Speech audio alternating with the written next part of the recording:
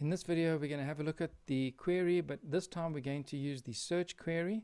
So we're going to get away from taxonomies, categories, tags, attributes and we're now going to look at uh, an option where you can insert whatever you want to pull up the search results. So here I have my query and I have two results there. I have a, a hoodie and a t-shirt which are completely unrelated.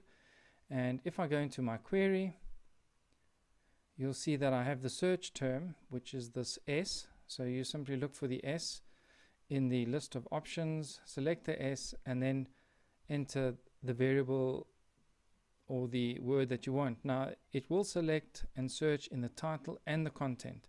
So the reason why these items were displayed on the page here is because on the actual product page, you'll see that the word variable appears. This is a variable product, and that's why the variable, these two products were chosen. Similarly, if I go in and I go with the word like logo, which I know appears in some of the titles, now all the products that can be used with logo will appear in the results.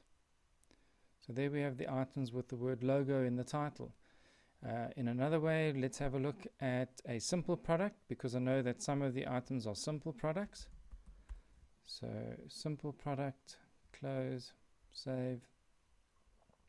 And now when I go and have a look, you'll see that simple products are displayed. So this is a very um, easy way to display products by search term. In the actual query in the back end, I'll just show you how we have it set up. So basically we have a standard post type which is a product. Then we have the post per page which come from a custom field. In this case though we could just replace that with the number 4. Then we have the taxonomy query. Now in this case the taxonomy query isn't required because we're not using the taxonomy query. We're just going with the search result. Then we have the no found rows set to true, so there's no pagination. Order by, and in this case, let's go with title, and the order, let's go with ascending. And then we have the meta query to check that the items are in stock, and that one will keep. And then here we have our search parameter. So with that change made, we'll update, head over to the website, and you'll see that in my search results slightly different now but there are the search results um, based on the word logo and you'll be wondering why um, or what was the search term the search term was simple and if I type in the word logo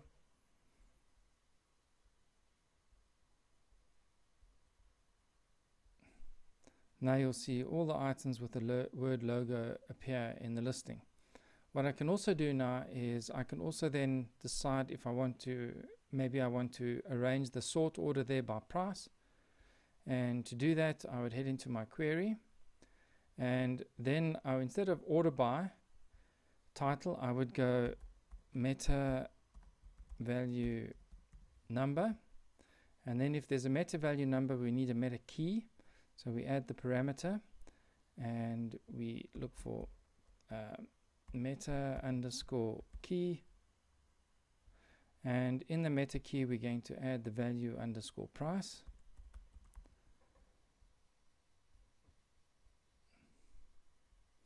and now the items will be arranged by price.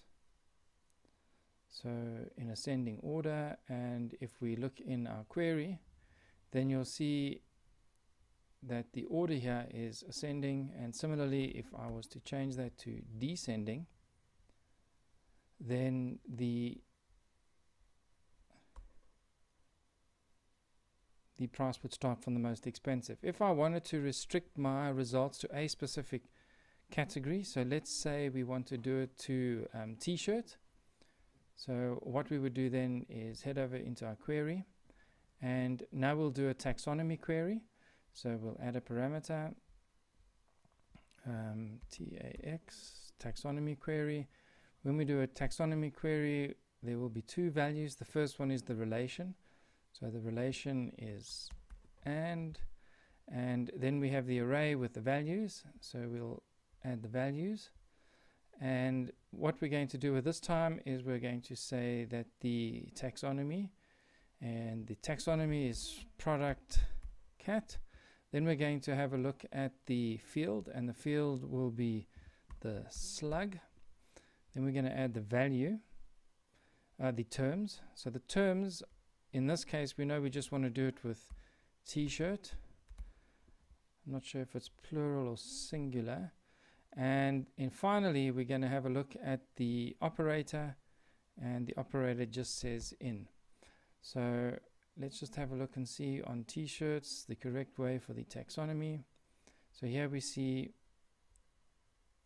we're in the product uh, t-shirts. So if we have a look, we'll see t-shirts or you can go into categories in the back end under products and actually go and have a look at the slug. So t-shirts it is in plural.